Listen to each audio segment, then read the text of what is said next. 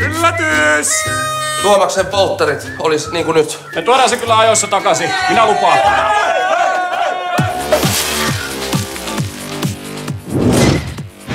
No mutta siis ehit se tänne ajoissa? Ei tässä oikein mikään voi mennä enää enempää pieleen. Luokkakokous kaksi.